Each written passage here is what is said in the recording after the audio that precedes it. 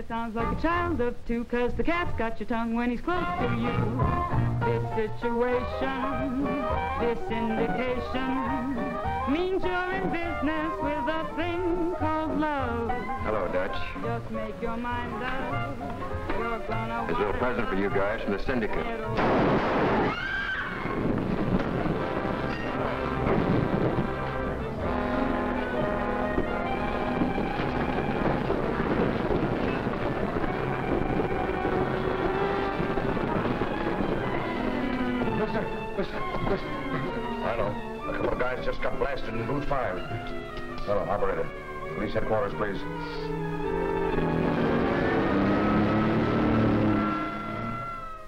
Positively amazing. A couple of guys get murdered in a crowded cafe and nobody sees it. Well, some of the patrons might have seen it. They lambed out of here right after it happened. You know who they were? Hmm, not by name, no. You're a big help to me, Smitty. Thanks. Lutz, I hear they went right by you. Yes, sir. Think if I took you down to Central and showed you a couple of photographs, you could identify them? Well, you see, sir, I was so scared I, I couldn't take my eyes off the guns. I see. Well, maybe if you people spend a little time as guests of the state, it'll improve your memory, huh? Put 'em in the cooler, Blake. Yes, sir, Captain. What's the charge? I don't know yet. All right, folks. Those newspapermen in, will you? All right, boys. The captain will see you now. Hello, Captain. Hiya, boys. At 11.05 p.m. tonight, Danny Denton and Dutch Kripe, alleged members of the Bugs Kelly mob, were shot to death here by persons unknown for reasons unknown. That's it, boys. Is that all, Captain? That's all I know. Weren't there any witnesses to the crime? There were, we couldn't find them. They landed before we got here. Well, wasn't that considerate of them? Hmm. See you later. Don't lose your sense of humor, Captain. The job of a crime reporter is just as thankless as yours. Guess you're right, Jim. Oh, by the way, who's Bugs Kelly been squeezing lately? How would I know? I thought you and he were palsy-walsy. I get to know all the mugs. That's my business. Uh-huh. Well, next time you see Bugs, just tell him I was inquiring, eh? Okay, so long.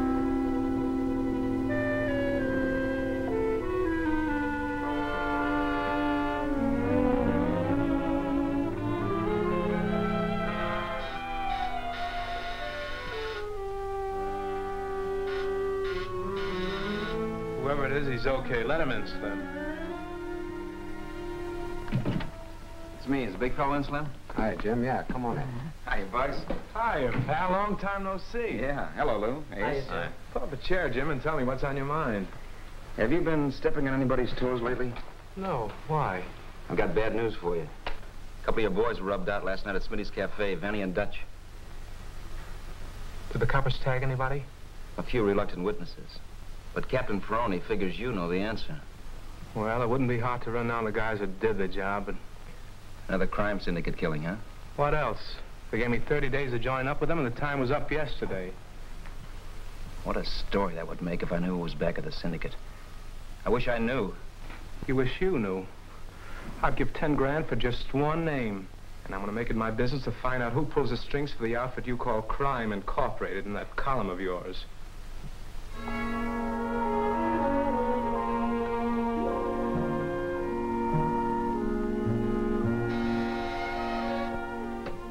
Sir? Have you a copy of the Daily News? Yes, sir. Refer to page three, column one. Yes, sir.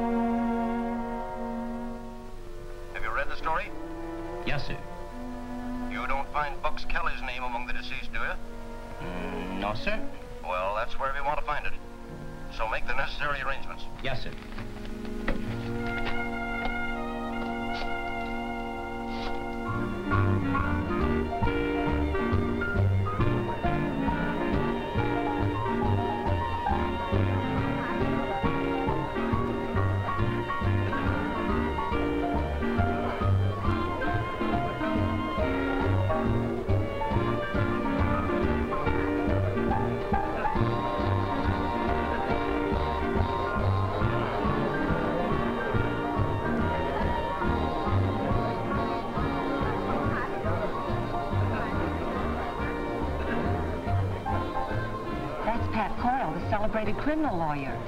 Hmm, isn't he handsome? Is he the one that always wins acquittals for his clients? Yes, that's him. And he certainly collects enormous fees. Who says crime doesn't pay?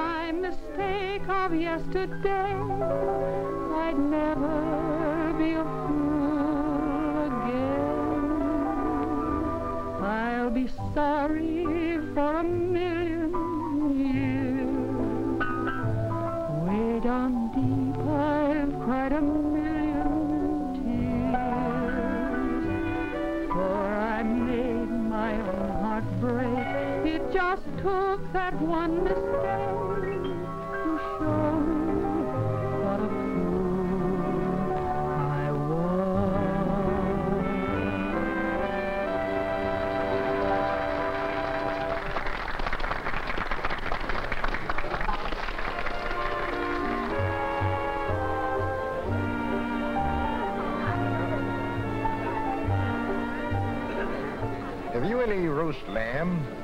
Best in town.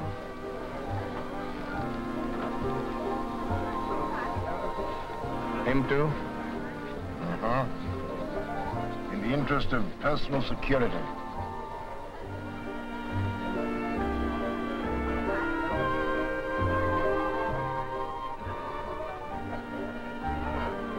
Hey, look who's here. Hello, Tony. What's cooking? Some nice roast lamb. Roast lamb, huh? I didn't look at the menu. Getting aside, I'd like to place a bet for Bob Littell. How much does he want to bet? $5,000. I'll guarantee it. Five grand? Okay. What horses Littell picked for the killing? I'm not circulating any hot tips around here. Give me a book, I'll write it down.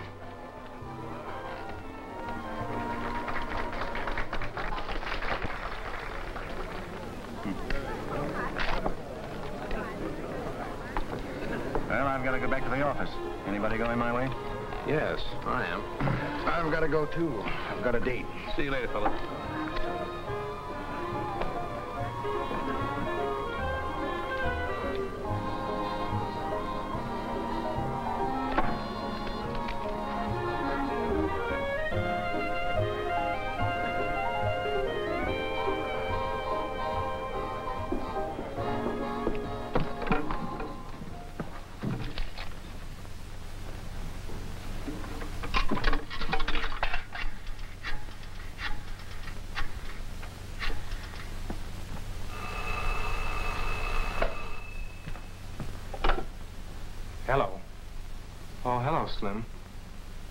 Anything? Plenty, Chief. I found a place where they've been cooking the roast lamb. You don't say. Believe it or not, but I've just been sitting in at your wake, Where were they holding the services? right where you had the hunch in the Club Boheme bar. Tony Marlowe gave the order for your execution, and Bob Littell is to do the trigger work. We've got to teach this syndicate a lesson they won't forget for a while.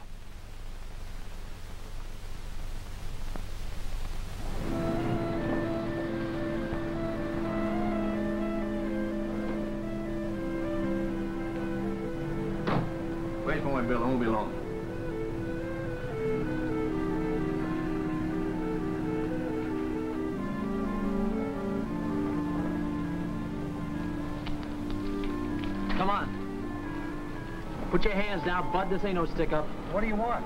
Come on, let's take a walk. Want to borrow your cap for a little while, buddy? Do you mind? Well, why pick on me? I never did you no harm. No one's gonna do you any harm if you don't get too curious. Come on, let's go. You're sweet, Trixie. One of these days we're going to get married. huh? When, Tony? Oh, soon I'll have a flock of dough, salted away, and we'll blow this town. Why, wait, darling. I'd love you if you didn't have a dime. It won't be a long wait, the way the rackets are paying off now. Well, good night, dear. See you tomorrow. And be careful, won't you? I'm always careful, of course. Good you know that.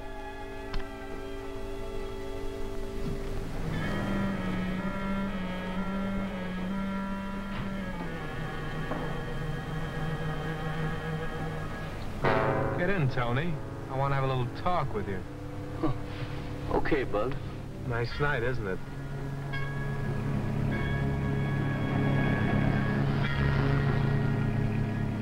You mind telling me what it's all about? Not at all. I hear you've been giving out some hot tips to the horses.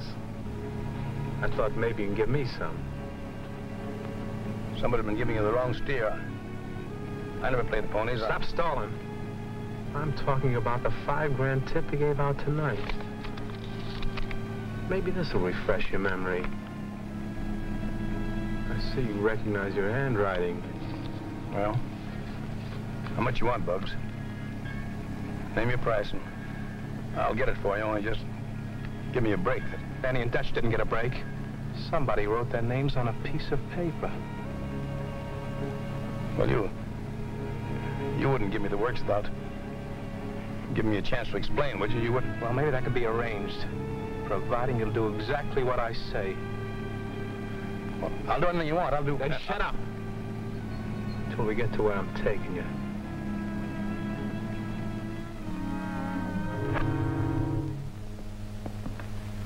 There, Tony. Sit down and make yourself at home. Now, Tony, you can pay the first installment on your life insurance. I want you to phone Bob Littell and tell him to meet you in a half hour at the corner of 3rd and Garfield. Yeah, but that'll be putting a finger on a friend. You catch on fast. I'm paying off a bet, Tony. To you or Bob Littell? Which do you prefer?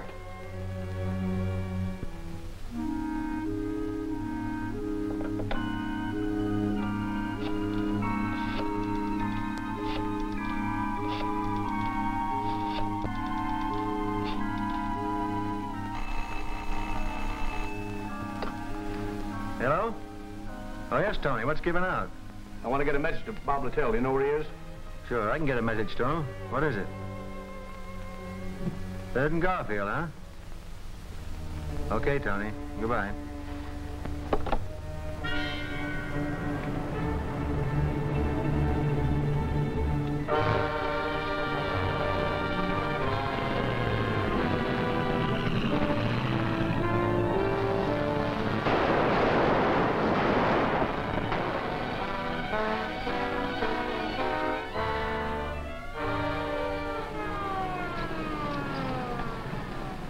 Are you so nervous about, Tony? They're not coming for you.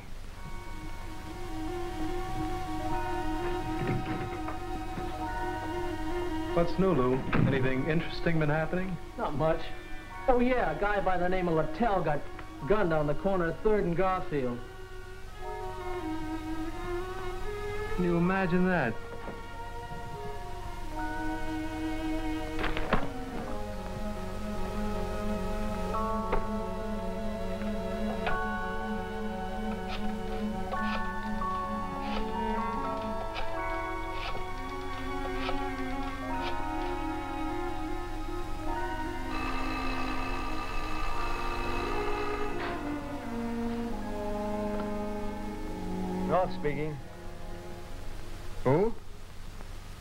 Kelly. I'll quit your kidding. I'm not kidding, Barry. I just called up to tell you that Bob Littell lost the five grand bet Tony Marlowe placed with you.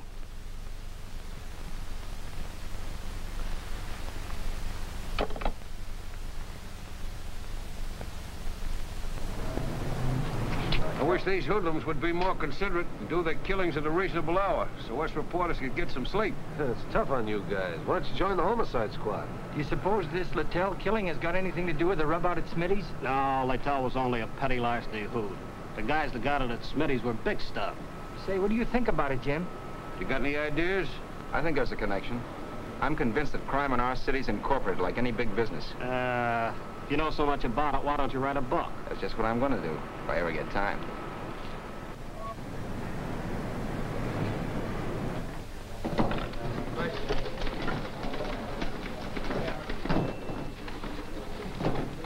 Get anything on that 3rd and Garfield kill? Not much. A two-bit gunman, Robert Littell, caught three slugs of lead from a person to persons unknown. Just another gang reprisal killing. But I got onto something that's really something. I'll show you my lead as soon as I phone the city morgue.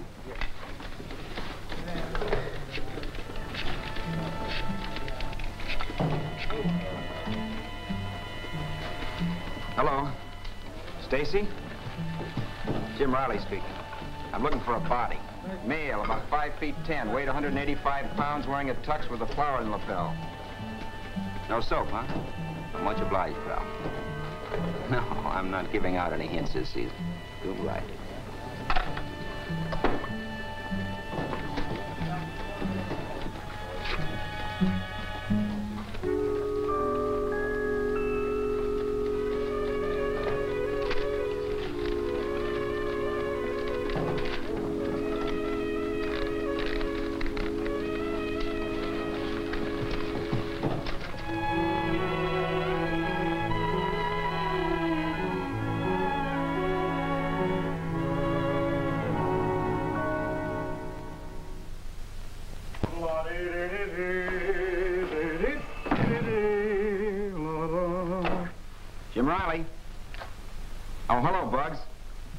Got your message about 5 a.m. How do you expect me to keep up my social obligations when you guys keep me up all night looking at stiffs? What's on your mind? Well, I'd like you to do me a little favor, Jim. I'd like you to accompany me on a little trip to Atlantic City. It's a personal matter that's important to me. I'd like to, Bugs, but there's a certain story that's about to bust in my face, and my boss might object. Well, what's the story about? Maybe I can help you out. Well, there's a certain big shot proprietor of a drink, dine, and dance emporium who took an unwilling taxi ride this morning. And his close friends are wondering what the fare is going to be to get him back. Seems to me I heard something about that. Say, how would you like an exclusive on how that story's going to end? How would I like to? Say, uh, when do we start on that trip you mentioned? Okay. I know we're bound for Atlantic City, but what are we going to do when we get there? Well, I'm hoping you'll do me a big personal favor, pal. And if you do, I'll give you the news story of the year. Well, can't you give me a hint right now? Well, I suppose it would be worth something to you, wouldn't it? To know who's back of the crime syndicate? Would it? You know, I'd write a book. Bugs, I wouldn't be able to thank you enough. I'll show you how you can when we get to Atlantic City. And uh, where we're going, don't call me Bugs. It's Mike Egan, my real name.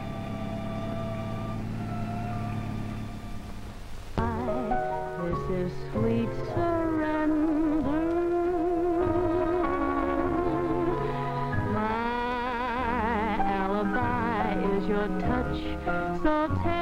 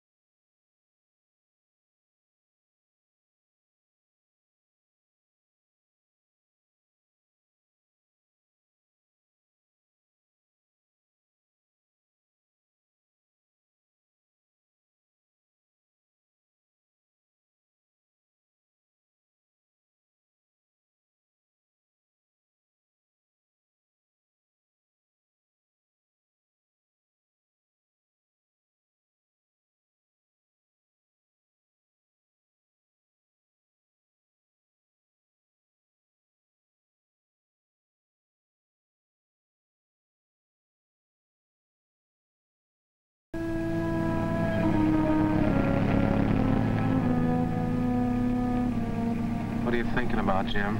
You've been at Clam for 25 miles at least. Oh, I was just thinking about Betty. She's a wonderful girl, Bugs. You think she's pretty nice, huh? That isn't the half of it. Well, she's freed and over 21. And, Jim, you're okay with me. Thanks. When are you going to Frisco? Well, that was just a stall. You see, I nearly got burned up last night. You nearly got burned up, huh? There, see what a close call I had? This was the order for my execution.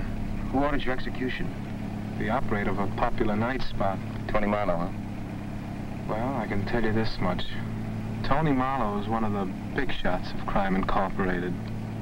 And the deceased Bob Littell was hired to do the trigger work on you? Is that a good guess? Could be. But you can't prove it by him. That's why you grabbed Tony Marlowe. So you could sweat the names of the other big shots out of him, huh? How am I doing? Well, I know the fellows that picked him up, but I'm not giving out the names. But there's a rumor around that'll cost the syndicate a hundred grand to get him back. It must be a big shot if they want to pay that much for him. Right. And it's my guess it'll be a bigger shot who'll do the paying off. Maybe the top man of Crime Incorporated.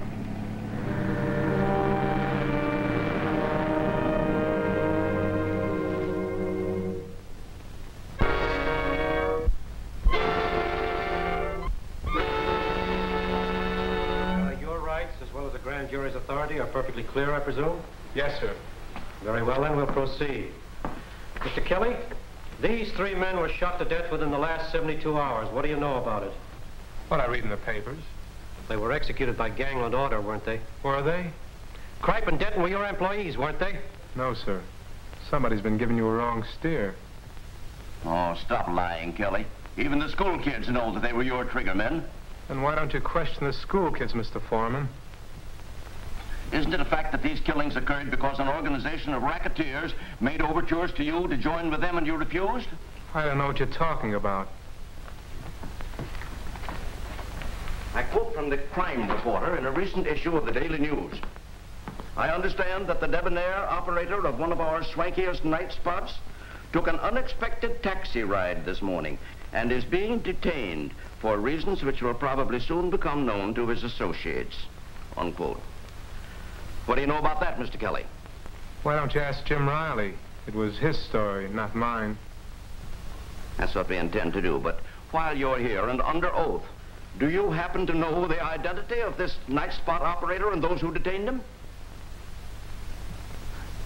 I suppose you'll even deny that you're a racketeer. I wouldn't bother to deny it. You gentlemen wouldn't believe me if I did. Just what do you do for a living, Mr. Kelly? I'm a life insurance agent. My office is at 8457 Canal Street, in case you're ever in that neighborhood. Do any of you gentlemen of the jury wish to continue the questioning? I don't. That's all, Kelly. Thank you, gentlemen. We have just time for a short recess before the police bring over our next witness, Adolph Lutz. We're not going to let a thing happen to you. Hey, try that hotel across the street. That shot could have come from one of those upper windows. Yes, Captain.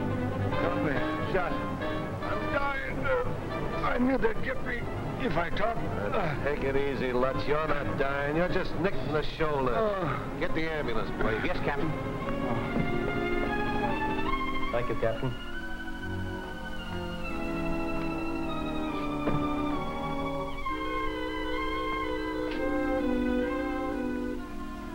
Gentlemen, I have some disappointing news for you. The witness we were expecting was just shot at the very entrance to this building. Oh, was he killed? No, thank heaven, but he's so terrified he won't be any use to us as a witness. who shot him? The police don't know. They never know anything. Well, I know one thing, gentlemen. This proves there's a leak in the police department. There sure is. And if the invisible government we're fighting is more powerful than law enforcement, we're wasting our time. You're right. We might as well abandon our crime inquiry. Gentlemen, please. Look, I agree with you. These hoodlums do seem to have a temporary advantage over us, but I promise you we'll lick them. The decent people of this city are counting on us to fight these crooks to a finish. And gentlemen, that's just what I intend to do so long as there's a breath of life in my body. Dixon is right, gentlemen. We have a sworn duty to perform. So let's do it no matter what happens. Now, let's adjourn till tomorrow morning and get a fresh start. Not a bad idea, though. Come in. you're early today. What happened? One of the jurors have a tummy ache? no. They called a recess because the scheduled witness got shot as the cops were bringing him in. What witness? A waiter at Smitty's Cafe called Adolf Lutz. Another murder, huh? No, he was only wounded. Ah, an old gag called intimidation. Yeah. Here's today's transcript. Oh, thanks, pal. Thanks. Uh, I, I wouldn't be doing this, Jim, but I got myself into a jam a while back, and... Yeah, I know how it is. I've been in a lot of those jams myself. Well, I gotta run, Jim. I'll be seeing you. Okay, pal.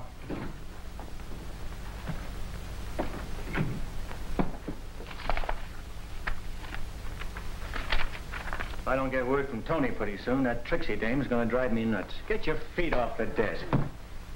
I'm calling every five minutes. What's Bugs waiting for? He knows he'll get paid off. Putting the squeeze on is as much pleasure for him as collecting the bill. Come in. Messenger just brought this for you.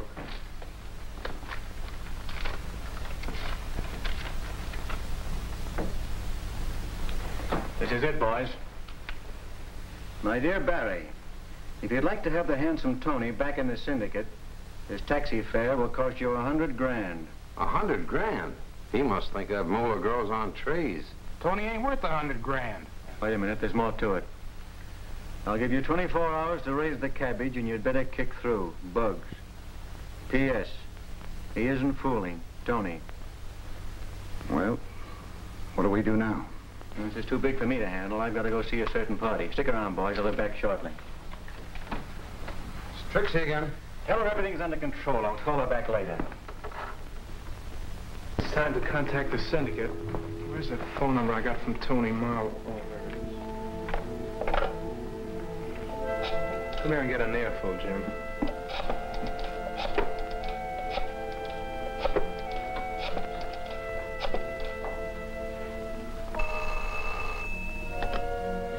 Hello?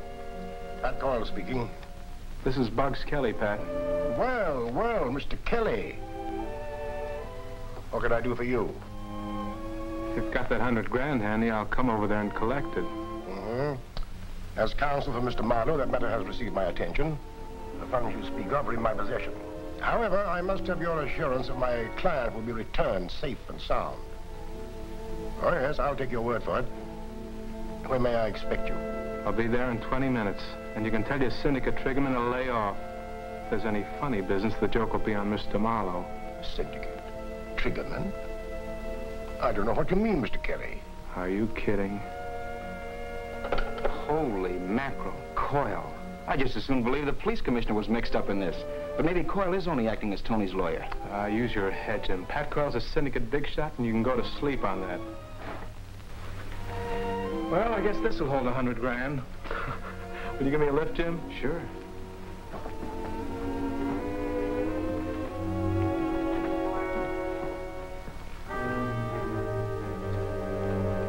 Sit down when I got the money for you.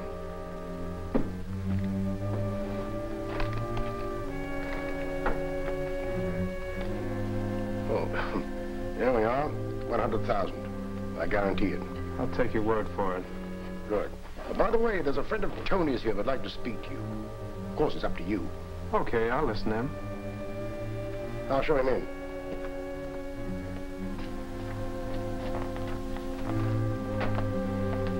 Hello, Barry. Well, what do you want? I want to talk a little sense into that thick skull of yours. I'm listening. You haven't a chance of fighting the syndicate. You might as well commit suicide. Yeah? Yeah. So why don't you join up with us? We can use you and your mob. You could cut yourself in for a nice slice of the profits. But even let you keep the hundred grand as a bonus. Do I look that dumb?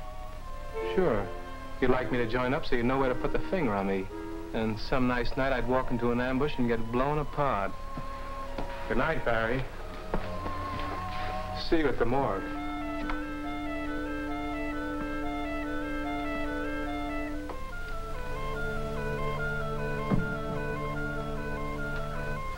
No girl, huh? No.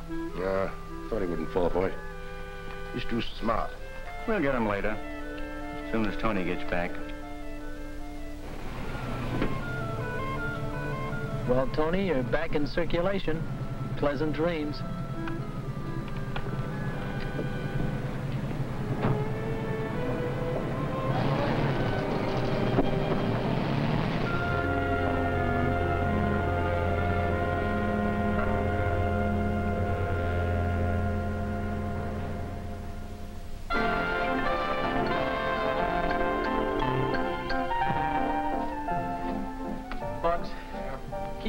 Undercover in a place like this gives me the creeps. Nobody'd think of looking for his way out here. Why don't you stop bothering me? Can't you see I'm reading a terrific book? Oh, why can't we go out on the avenue, have a couple of beers or something? Okay. I suppose you want to ride on the merry-go-round, too. I like merry-go-rounds. Okay, Junior, let's go. Okay.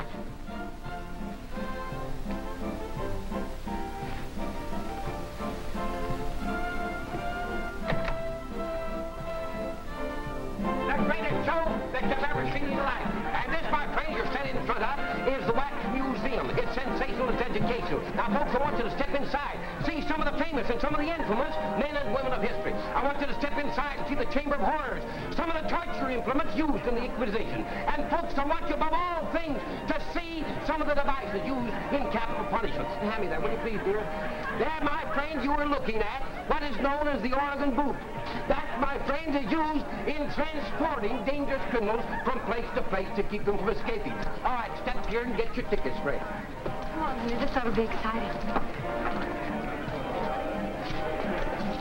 Maybe we ought to go in and learn something. Yeah, maybe we got the wrong slant on things.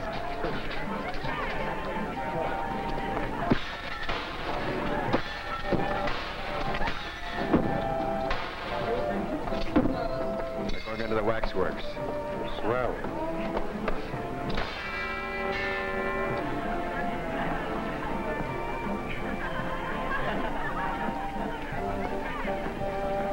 Hey, Lou. Who's that? I heard someone say she was Portia. Portia.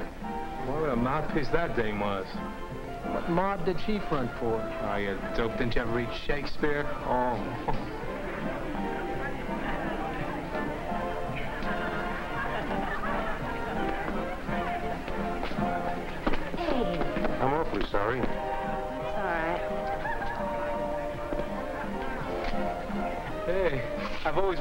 feel like to sit in the old hot seat. No, it don't, Bugs. It's bad luck. Ah, don't be silly. I ain't gonna die in the electric chair.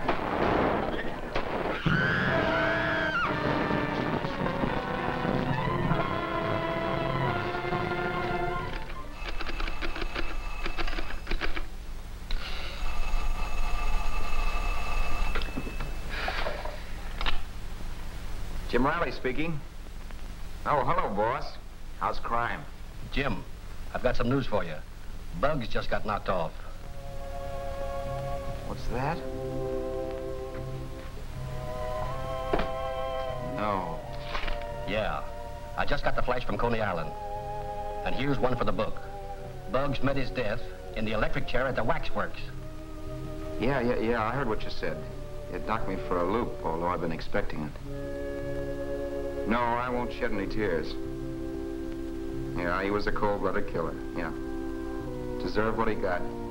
Yeah, yeah. But boss, not at the hands that dealt it to him. Well, perhaps you're right, Jim, but I thought maybe you wanted to handle the story. Well, sure, I'd like to.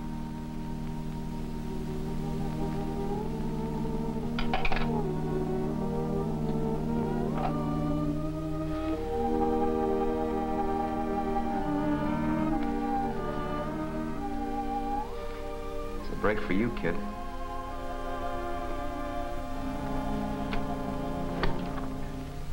Oh, good evening, ma'am. I'm looking for Miss Betty Van Cleve. Do you know where I could find her? Miss Van Cleve moved away from here yesterday. You know where she went? No, she uh, was very much in a hurry and she didn't leave a forwarding address. I'm sorry. So am I. Thank you.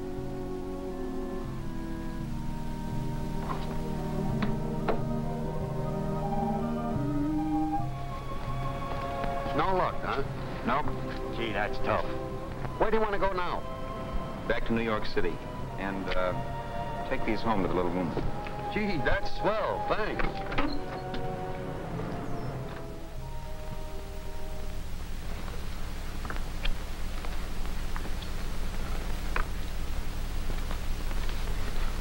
There's one of them. I'm sure that's one of them. That's the other one. They're the ones that did the shooting, all right. I know the mugs. Got anything on them? Nothing lately, but I understand Gar hangs out at a bookmaker's place on the west side. Stecker's in the number racket uptown. Collins speaking. Send out a teletype order to pick up Judd Stecker and Eddie Gar, murder suspects. Thanks a lot to both of you. You've been a great help to us. Can we go home? Yes, I'll have one of my men take you. Now, don't tell anybody what you know about the crime. Not even your own families. We won't. Take them home, Hayes. Yes, Commissioner. Yeah? One of them coppers is on the wire. Okay. Barry speaking. Yeah, what's on your mind? How long ago? Have you got the names and addresses? All right, give them to me. Yeah? Yeah, I got it. Thanks for the tip.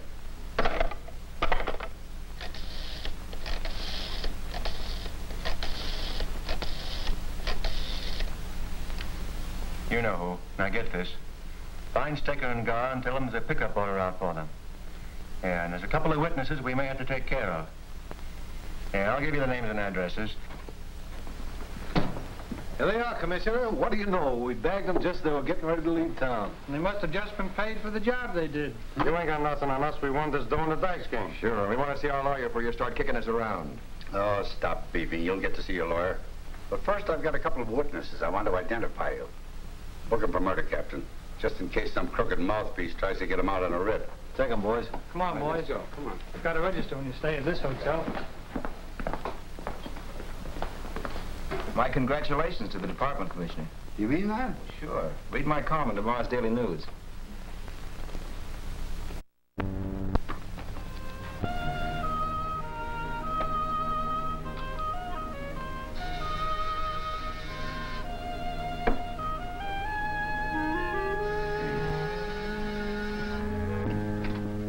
Oh, it's you. Come in. Hello, Jim. How are you? Here's yesterday's transcript. This'll keep you up to date. Okay. Thanks. Today's proceedings were the worst yet with Dixon out of town. You got bored, so we had to take a vacation, huh? no. Eddie Gar sent word through his old lady that he wanted to talk. So Dixon trained up to the big house last night. Oh? You don't know what Gar wanted to talk about, do you? No, but I guess he's finding prison life too confining, and he wanted to cry on Dixon's shoulder. Well, I'm anxious to find out what they talk about. So if you find out, I'll wangle you a little bonus money. Okay.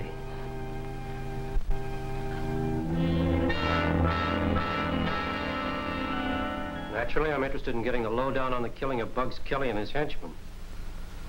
But I want you to understand that nothing you say will alter the sentence the court gave you.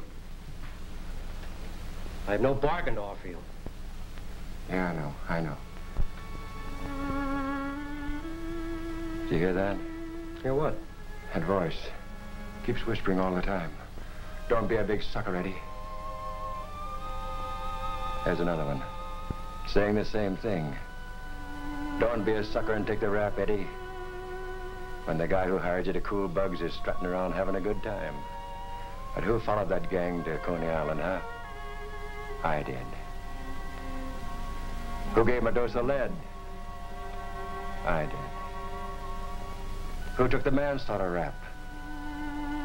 I did. Who's making a sucker out of me? Tony Marlowe. You mean to say that Tony Marlowe hired you to cool Bugs Kelly? Of course he did. He's the finger man for the syndicate, ain't he? Is he? That's what I said, didn't I? Oh, I know, I know. He takes the orders from someone higher up, but he's the guy who says who does it to who and for how much. If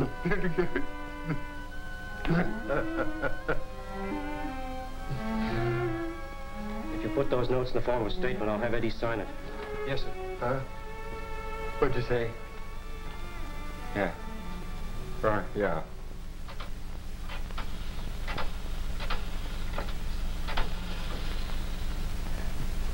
Hello, Mr. Marlowe, please. Hello, Tony. This is Lucas. Yeah, listen, I gotta see you right away. I'll say it's important. Okay.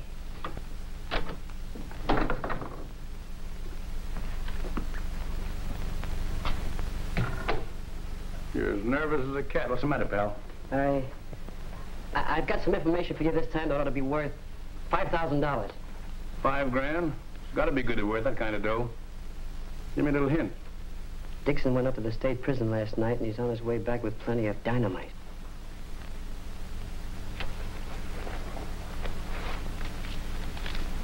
Now you give. Listen, Eddie Gobb blew his topper and gave Dixon the details of the Bugs Kelly rubout, naming you the finger man. Now, if you hurry, you'll have time to get undercover. So Dixon's coming back tonight, huh? Yeah, he's getting off the train at Wayside. I'm driving his car up to meet him. Nice going, Lucas. I told you if you play ball with me, you get yourself a bankroll. Now be careful when you go out. See that no one sees you. Goodbye and good luck. Goodbye and thanks. So he's getting off at Wayside, eh? Jim Riley speaking. Oh, hello, pal. Say, I was just talking to Dixon, long distance. Whatever made you suspect that Eddie Gar might have something important to tell him? Did he sing? The lid's off, Jim. Dixon's on his way back with a briefcase full of dynamite. Now, wait. Where can I go to see the show? I wouldn't want to miss this for anything in the world. You might blow yourself to a feat at the Club Boheme around 7.30 p.m., if you know what I mean. I might at that.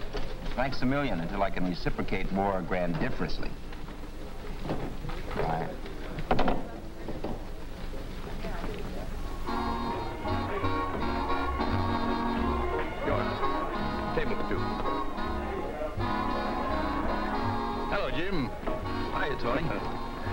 Living in the lap of luxury, I suppose, huh? Could it be that my favorite crime reporter is taking the fall out of the old expense account?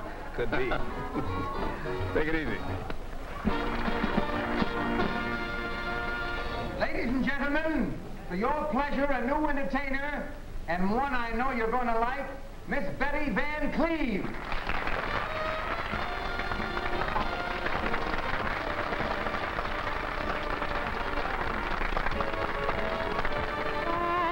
Work in a nightclub, take pictures galore. Although it's a bright club, to me it's a bore. When a man gives my hand a squeeze, I smile and say, your picture please. My hours are long here, commissions are slight. I'm crying my song here, the same every night. There's a hymn on a limb with a herd, Your picture, sir? Oh, that smile, just watch the birdie. Catch that style, and she's way past 30. See those older, dignified men. Comes in a folder, looks good in your den. See that youngster on his very first date. A picture is fun, sir. Done while you wait. Oh, what a mixture, they give me no rest. Order a picture for the folks out west. Though I dance around, there's no romance around. How I hate this posing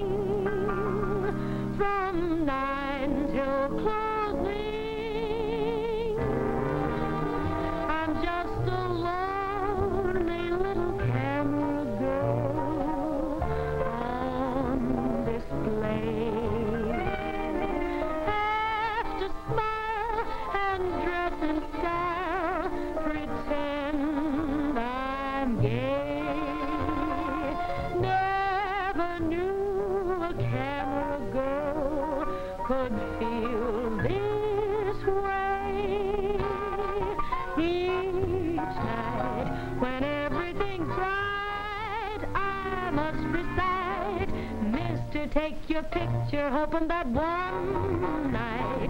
The man who is right will come along to claim his pearl and carry off the lonely little camera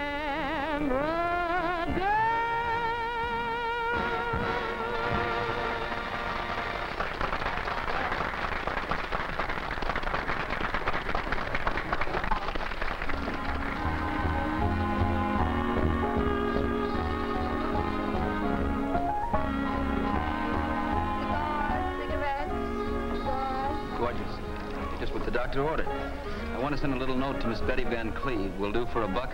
Will do if you buy a pack of cigarettes. A sweet child.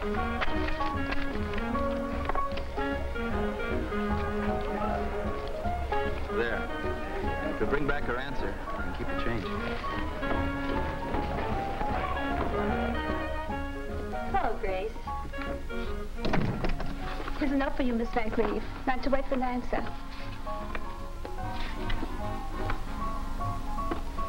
Well. May I borrow your pencil?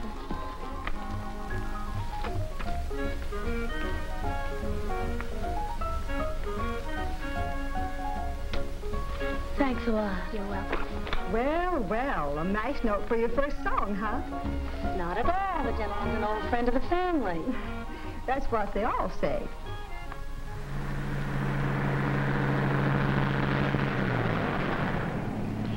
You know, I never was so surprised in my life as when Eddie Gar began to hear those imaginary voices. I never dreamed a cold-blooded killer like him would crack so quickly under confinement. I guess prisons are no fun. No.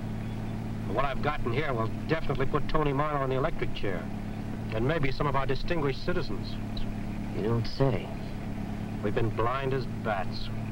And here's Jim Riley trying to tell us all along that crime and racketeering were controlled by a syndicate. We paid no attention to it. And I'm ashamed to say there are indications that even Pat Coyle is mixed up in this.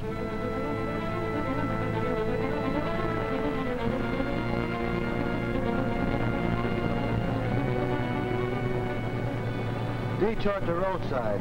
Thanks.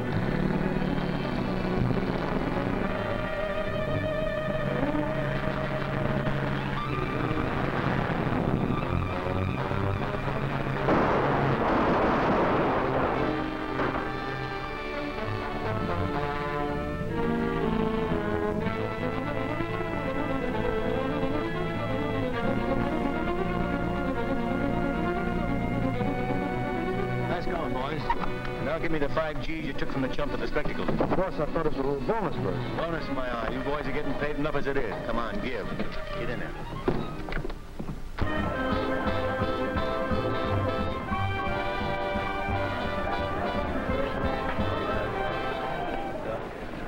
You're under arrest, Tony.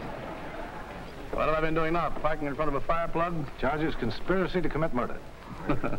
Quit your kidding. We're not kidding, Tony. Get your hat. Now, wait a minute. If you take me on such a ridiculous charge, I'll sue the city of a false arrest. Come on, Tony. What are you, you guys?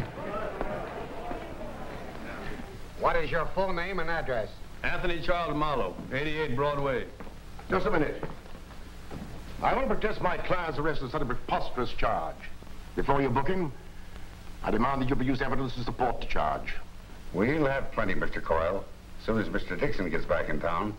He's due any minute now. You want it on the phone, Commissioner. It's uh, long distance. Thank you.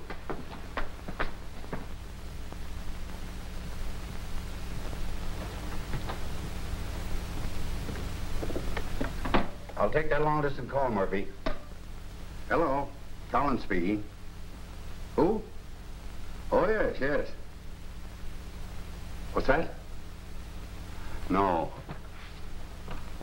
Where did it happen? I see. Hold the phone a minute. I'll have someone take down the details. Don't answer another question until they produce some proof to back their charge. Go ahead, Sergeant. We know what we're doing. If you do, Sergeant, I'll serve you with a writ so fast your head'll swim. We'll have to turn Mr. Marlowe loose, boys. We have no evidence now to back up his arrest. What do you mean, no evidence? You said the deputy DA was bringing it with him. He was. But he and his secretary were murdered on their way here and the evidence stolen.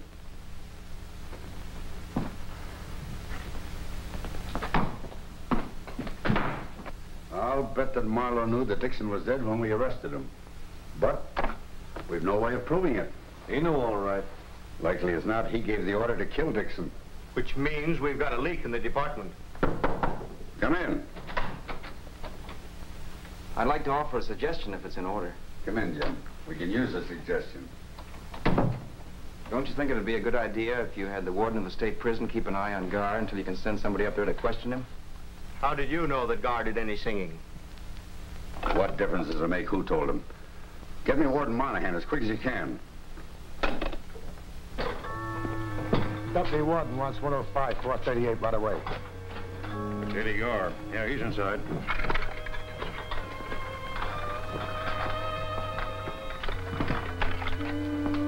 Where's Eddie Gar's one up front? Went in the storeroom to get some sugar. Shut eye, huh? I wouldn't know. Five grand.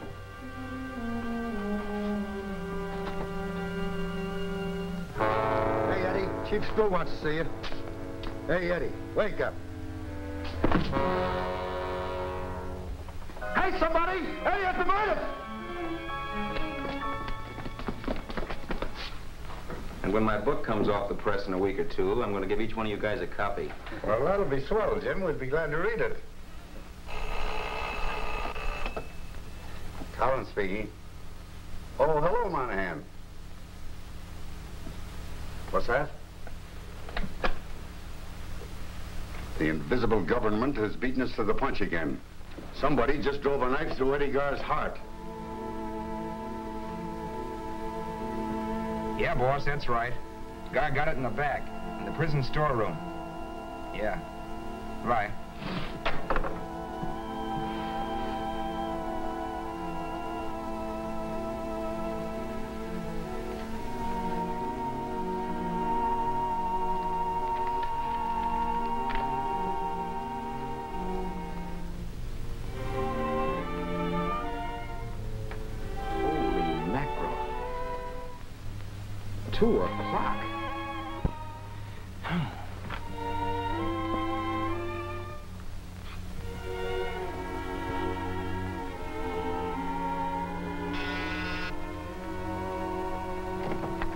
Hello, Betty.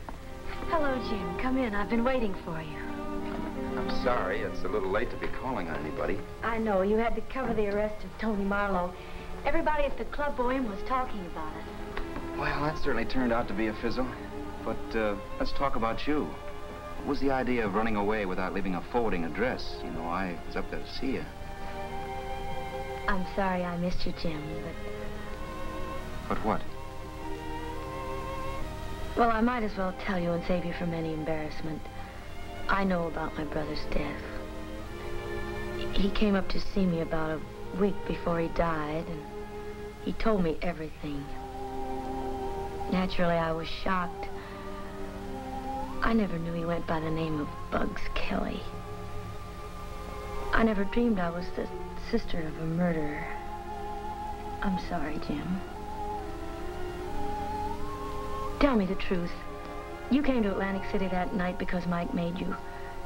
You agreed to be friendly with me because you were afraid he'd say no. You've got it all wrong, Betty. Oh, you don't have to pretend anymore. You can bow out if you want to. It won't hurt my feelings. Betty. Now listen to me. I love you. You hear?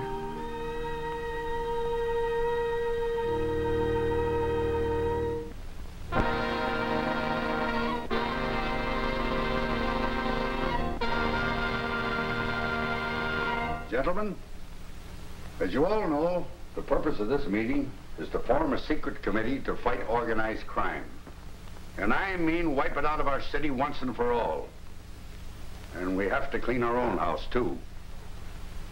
I hate to think that Dixon was murdered because someone in the department was a traitor to the cause of justice.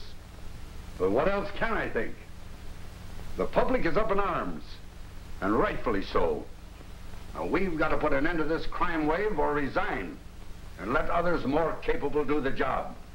Now, which is it going to be, men? We'll clean it up, Chief. Clean it up, Chief. Gentlemen, as Jim Riley would say, this meeting of the Board of Directors of Crime Incorporated is now open for business. However, as chairman in the absence of our president, I want to sound a timely warning. We can't afford to have any more violence. Since it became necessary to eliminate the Bugs Kelly mob, our business has fallen off 16%. Mr. North, until public indignation dies down, I think you should have all marble games removed from school neighborhoods and operate bookmaking under cover for a while. That goes for policy games and baseball pools as well. And during the lull, let's try and dig up some new competitive game, something different. That'll bring us a few nickels. Oh. Oh,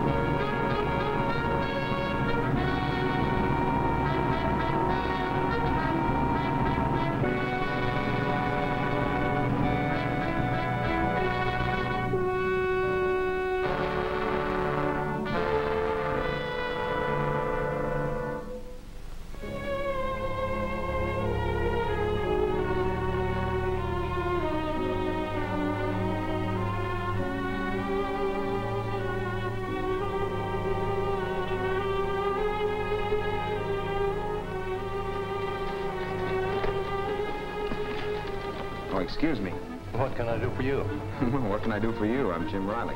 Fine. Here's a little present for you. I'm a process server from the grand jury. I have here a book entitled Crime Incorporated by Jim Riley. Are you that Jim Riley? I am. Assuming that the material in your book is factual, just how were you able to get information when all the city law enforcement groups were unable to get it? I don't know. Maybe because I had better contacts. Better contacts. Isn't it a fact that you got most of your information from Bugs Kelly? Yes, so what? So you admit more than a speaking acquaintance with a dirty killer. I can't testify as to how often Kelly took a bath, if that's what you mean. You know what I mean. You probably know him well enough to get a regular cut from his racket. That statement's a lie. I don't have to defend my relations with Kelly, but it's fortunate there was such a man as Kelly. He was a killer, sure, but who made him a killer, I'll tell you. An organization of racketeers and greedy businessmen who formed a syndicate to monopolize all illegitimate business and sources of graft. Bugs wouldn't line up with them. Bugs' futile fight to stay independent is the reason that you're here, gentlemen. He has unwittingly done more to clean up our city than all the law enforcement agencies because his activity laid bare the existence of incorporated crime. Uh, now, if you're through theorizing, Mr. Riley, this grand jury would like to know just why Kelly gave you information. Because I did him a favor. What was that favor, Mr. Riley? It's something personal, so it doesn't concern the grand jury. The material in your book concerns the grand jury. And it's your civic duty to help wage war against crime. Sure, and get myself riddled with bullets. I'm sorry, gentlemen, I'm not that civic-minded. You're going to talk, Mr. Riley, or we're going to ask the court to question you. We want the full details of your investigations. We want the right names of people mentioned in your book. And we want the addresses of all the rackets. And you're going to answer those questions right now. I'm sorry, gentlemen. The confidence between a news reporter and his source of information is just as sacred as the confidence between doctor and patient, lawyer and client, or priest and penitent. Riley, we'll give you 24 hours to think it over. And bear in mind, your continued defiance will render you liable to a charge of contempt. You're dismissed. Thank you, Mr. Conroy.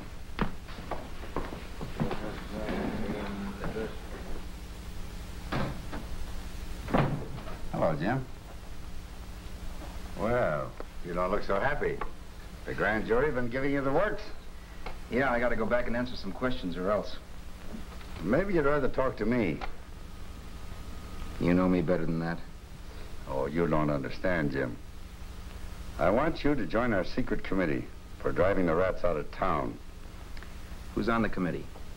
Just a few of the men we can trust, like Ferroni, Finch, Westover, and the foreman of the grand jury. Clark? Yeah. You see the point? If you join our committee, the jury will have to lay off you. Yeah, I see the point.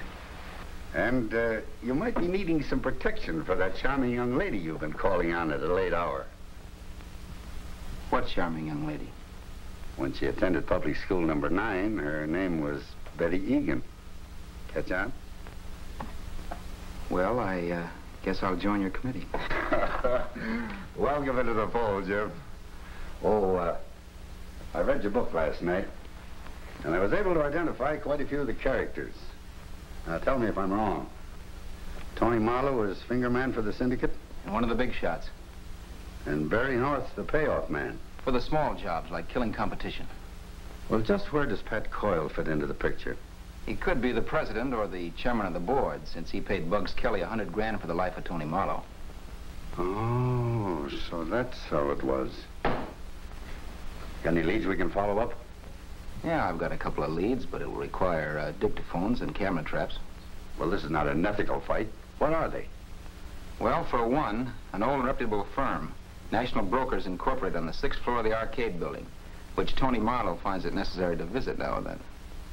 And another hits pretty close to home. Let's hear it. Well, some of your force have been making calls on the International Export Company on the fifth floor of the arcade building. What kind of business would they be wanting with an export company? It's just a front. It's the headquarters of Barry North. Here's a list of the callers.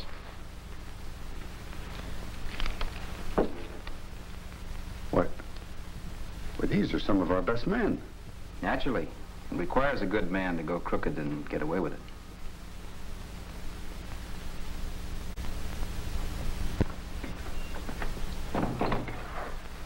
Greetings, board members. Greetings, Mr. President. Gentlemen, I have just come from a meeting of the Secret Police Committee, and I am genuinely worried. Jim Riley has become a member of the committee, and there's no telling what he knows of our syndicate activities. What do you propose, Mr. President? I'm afraid it will be necessary to eliminate the secret committee. You realize what you're proposing? I, for one, can't subscribe to such drastic measures. Nor I. Your suggestion is insane.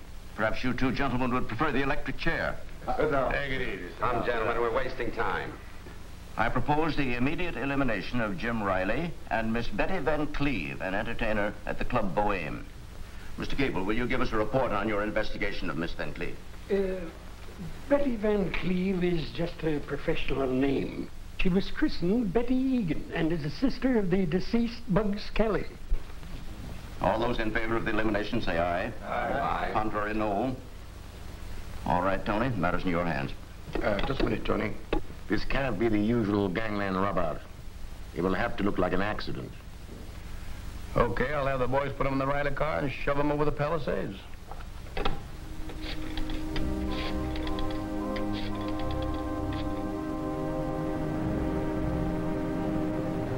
Jim, I'm scared. Don't be, darling. There's nothing to be afraid of.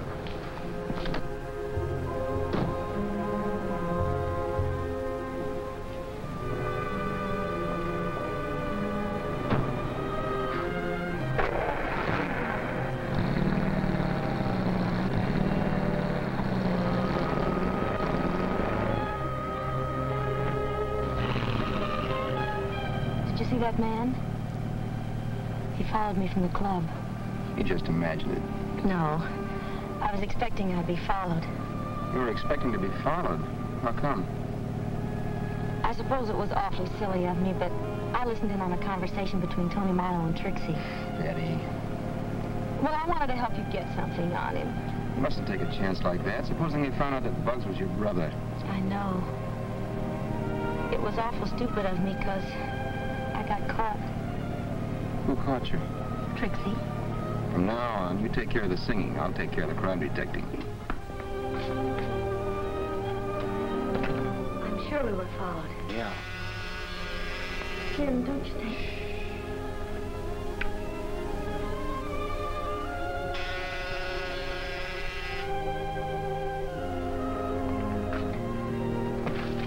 Take it easy now, and you won't get hurt. What do you want? If it's money you expect, I haven't very much. Quiet, sister. This ain't a stick-up. What is it, then? Somebody wants to have a little talk with you. Now get over there by the wall and get your arm. What for? Follow your path. This door's your toe. Hold it, boys. Drop those rods. Oh, yeah?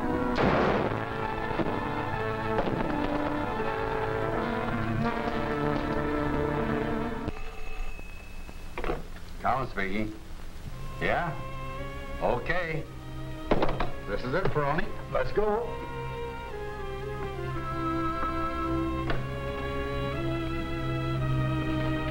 So, gentlemen, our next objective is to control the city elections and place our own men in the key positions. Then we shall be impregnable. I propose that... Yes? I see. Nice. Gentlemen, the meeting is adjourned. We're about to be visited by the law.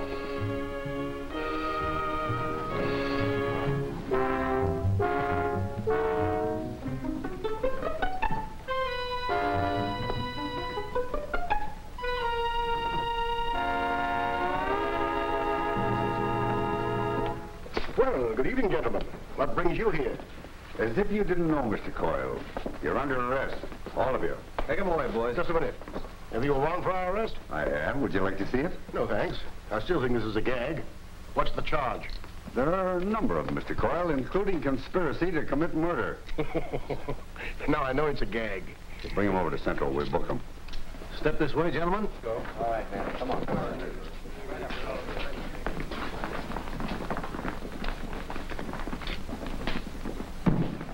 And now, Captain Finch, I think it's about time you joined the rest of the rats. Me? You.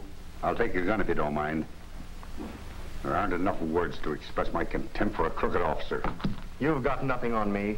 Your partners in crime, Sergeants Busby and Hiss, are already locked in a cell.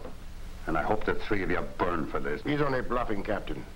You'll have to release us when he can't produce enough evidence to bind us over for a hearing. You're mistaken this time, Mr. Coyle. In 30 minutes, the evidence will be shown you and the grand jury in Captain Ferroni's squad room. Gentlemen of the jury, as district attorney, I'm about to present some evidence collected by our police department in its effort to suppress crime.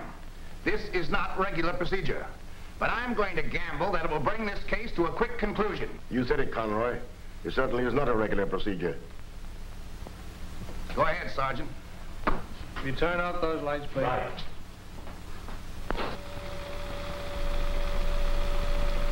Hello, pal. What brings you out so late at night? I just came from a meeting of the secret police committee. You'd better get the idea out of your head that this committee is a joke like the grand jury. You're breaking my heart.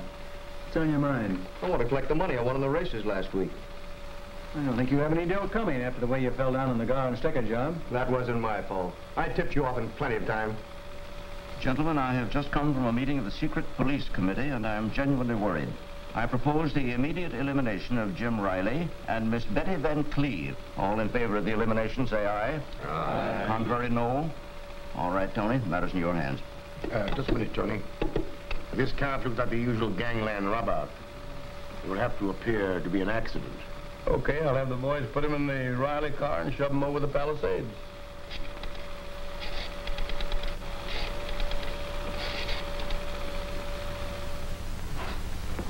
All right, boys. Take the prisoners back to jail.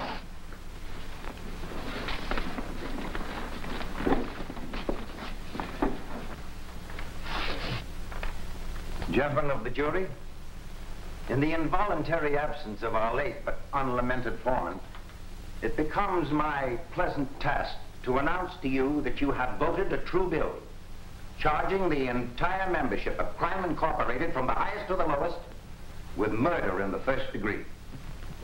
Congratulations, gentlemen. You have rendered our community a most valuable service. I shall proceed at once to prosecute the defendants. We could have been married a dozen times while we've been waiting. I know, darling, but I couldn't ignore a grand jury summons. They throw me in jail.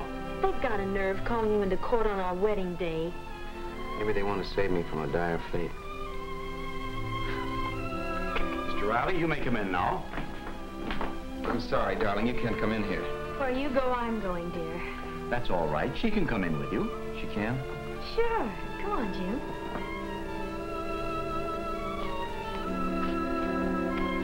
Hello, Jim. That subpoena was just a gag. The grand jury wants to express its appreciation for your splendid work in helping to fight the invisible government in our city. Was that all you wanted? Well, yes. Why? Well, if Betty and I had known that, we uh, could have gotten married before we came over here. What's that? Does somebody want to get married? Is it you, Jim? Well, darling, this is Judge Poole, legal advisor to the grand jury. Judge, this is my wife. Well, I mean my fiancée. This is a pleasure, my dear. Well, you have some illustrious witnesses here. Get out the marriage license.